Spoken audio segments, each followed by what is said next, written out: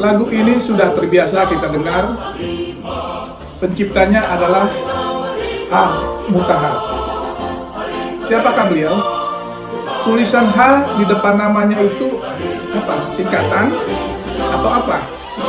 H itu apa? H, Haji, atau Hans, atau Hussein, atau siapa?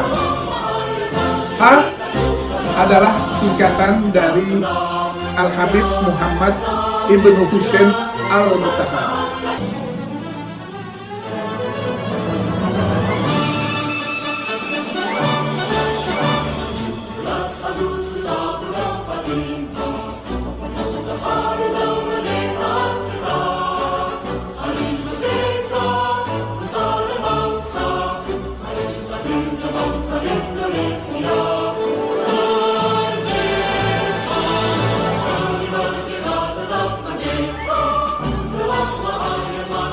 Hal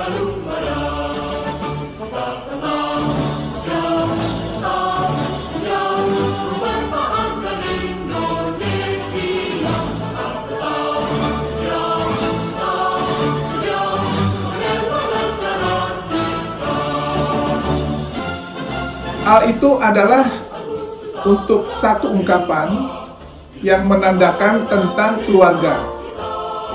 Asgaf, ada Al-Atos, Al-Jufri, Al-Habsi, dan beliau adalah Al-Mutahar. Beliau lahir di Semarang 5 Agustus 1916. Al-Habib Hussein Al-Mutahar. Beliau itu selain seorang ulama, beliau juga pencinta seni dan komponis.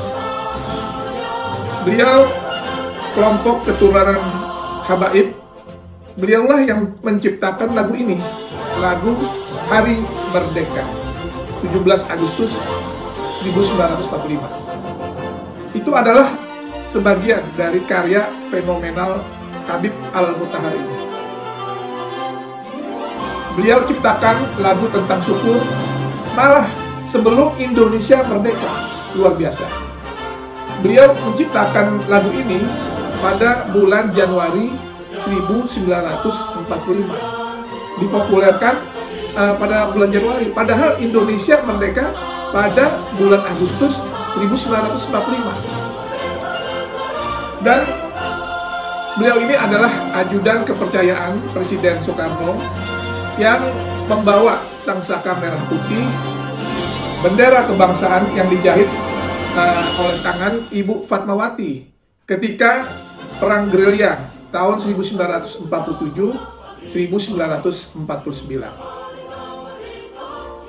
Beliau selain seorang ulama, beliau juga pencinta seni dan komponis. Beliau juga yang menggagas Paski Braka maka beliau mengambil delapan pemuda untuk menjadi pasukan pengibar bendera pusaka.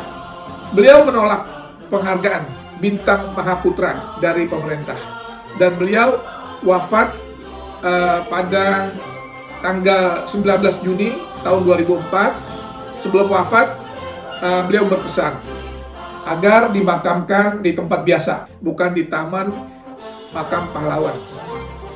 Masya Allah, seorang pejuang yang tak ingin dikenang sebagai pahlawan. Itu yang membuat sejarah Indonesia ini hanya menulis namanya sebagai H. Mutahar. Dirgahayu 75 tahun Indonesia. Semoga Allah melindungi bangsa Indonesia dan menjadikan bangsa ini bermartabat. Mari bersama kita jaga Indonesia. Yang mau tahu soal apa aja, silahkan subscribe channel Bamdai ya disumpahin lu kayak raya jangan lupa pandai channel